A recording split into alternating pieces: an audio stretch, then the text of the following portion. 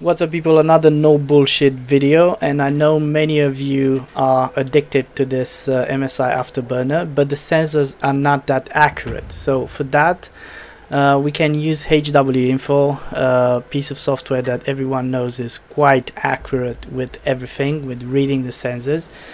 But the question is how do we link this two together? So how do we make MSI Afterburner to use HW info sensors.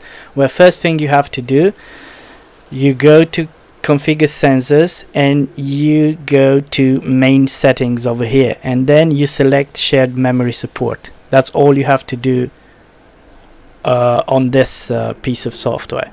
And then you go to you go to your MSI Afterburner settings. So let's go again. Settings and then you have monitoring. Go there and active hardware monitoring graphs. You go here to those dots and probably many people will have AIDA64 well you only have to like just select double click or make sure it's like selected uh, HW info. Just apply okay apply and that's it.